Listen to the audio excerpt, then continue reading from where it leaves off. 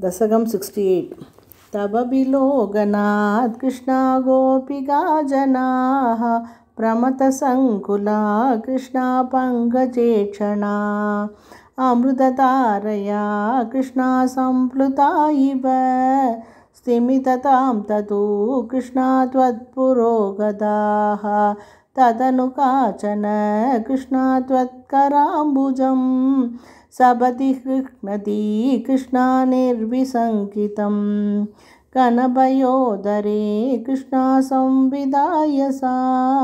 पुलकसंवृता कृष्णादस्तु श्रीचिरं तव विपोपरा कृष्णा कोमलम्बुजं निजकलान्तरे कृष्णा पर्यवेष्टयत् कलसमुद्गतं कृष्णा प्राणमारुतं प्रतिनिरुन्धति कृष्णादिहर्षुला।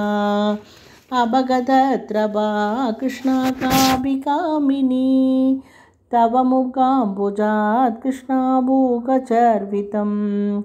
प्रतिगृह्यदत् कृष्णा वक्त्रपङ्कजे निदतती कथा कृष्णा पूर्णकामतां विकरुणो वने कृष्णा संविहाय माम् अभगतोऽसि का कृष्णा त्वामिग स्पृशे इति सरोषया कृष्णा दावदे गया सजललोचनं कृष्णा वीक्षितो भवान् इति मुदाकुलैर्कृष्णा वल्लवीजनैः सममुपागतो कृष्णा यामुने तडे। मृदुकुशाम्बरैः कृष्णा कल्पितासने कुसृणपासुरे कृष्णा पर्यशोभदाः कतिपिता कृपा राधे केऽपि सर्वदो धृतदयोदया राधे केशिदाश्रिते कदिचिदीदृशा राधे मातृसेष्वभीति अभिहितो भवान् राधे वल्लवीजनैः।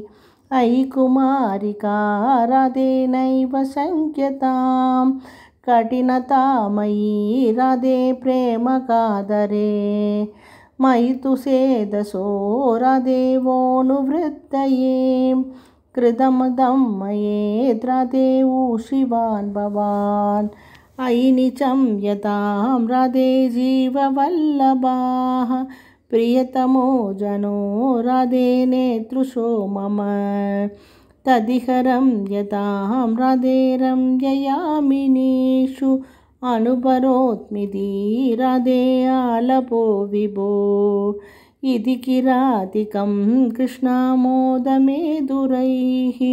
व्रजवधूजनैः कृष्णा साकमारमन् कलितकौतुको कृष्णा रासकेलने गुरुपुरीपते कृष्णा पाहि मां कथात् गुरुपुरीपते कृष्णा पाहि मां कथात्। गुरुपुरीपते कृष्णा पाहि मां कथात्।